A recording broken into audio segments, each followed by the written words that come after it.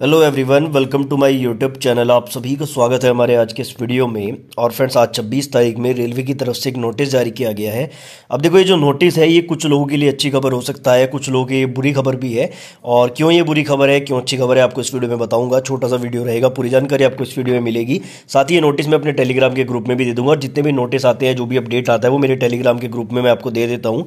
तो डिस्क्रिप्शन में मेरे टेलीग्राम ग्रुप का लिंक है, आप जाके ज्वाइन कर लीजिए। बाकी चैनल को अभी तक सब्सक्राइब नहीं किया है तो चैनल को सब्सक्राइब करके बेल आइकन को भी प्रेस कर लीजिए ताकि फ्यूचर की आपको जो सारे वीडियोस के नोटिफिकेशन है, वो भी मिलते रहें। तो यहाँ पर जो न्यूज़ है, ये भुवनेश्वर की तरफ़ से है। बेसिकली जो आपका भुवनेश्वर जोन है और ग्रुप डी की जो पीईटी है, उसकी डेट यहाँ पर अनाउंस की गई है ऑफिशियल नोटिस के माध्यम से।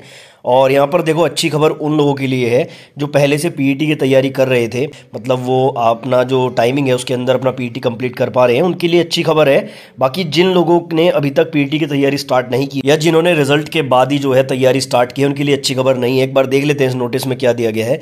देखो, यहाँ पर इन्होंने कहा है कि दस, ग्यारह, बारह, यानी तीन दिन यहाँ पे पीईटी चलने वाला है और इन तीन दिनों में जो है टोटल छः हज़ार सात सौ तीस कैंडिडेट का पीईटी यहाँ पे लेने वाले हैं।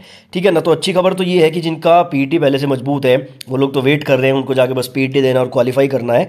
बाकी बुरी खबर उनके लिए है कि जिन स्टूडेंट की पीटी की तैयारी नहीं है। देखो, एक तो यहाँ पर टाइम ज़्यादा नहीं मिल रहा है, दस तारीख से स्टार्ट हो रहा है, अगर अभी से देखें तो पंद्रह दिन मुश्किल से यहाँ पर पीटी की तैयारी के लिए जो है मिल रहे हैं। दूसरा यहाँ पर क्या है कि जो पीटी है, वो सुबह छः बजे से स्टार्ट हो रहा है। देखो, ये पूरी लिस्ट भी इन्होंने जारी किया और इस लिस्ट में जो टोटल स्टूडेंट है, वो छः हज़ार सात सौ तीस है और सबसे पहली शिफ्ट यानी कि मॉर्निंग में जो आपका पीटी है, वो साढ़े छः बजे स्टार्ट होने वाला है। देखो, दस जनवरी यानी कि बहुत ठंडी का दिन और साढ़े छः बजे यहाँ पर पीटी देना एक ऐसी कैंडिडेट के लिए जिसने अच्छे से तैयारी पहले नहीं किया थोड़ा सा मुश्किल होने वाला है। तो इसीलिए मैं बोल रहा हूँ कि कुछ लोगों के लिए बुरी खबर भी साबित हो सकती है। बाकी जिनकी प्रैक्टिस अच्छी है, वो ठंडी में भी इसको कर जाएँगे। अब यहाँ पर बात करें कि एडमिट कार्ड कब तक आएगा तो लगभग जो है, चार या पाँच दिन पहले आपके एडमिट कार्ड भी आ जाएँगे आई थिंक चार दिन पहले एडमिट कार्ड आ जाते हैं। तो वो एडमिट कार्ड का जो आपका लिंक है, वो आपको मेल भी किया जाएगा। बाकी ऑफिशियल वेबसाइट पर तो आ ही जाएगा।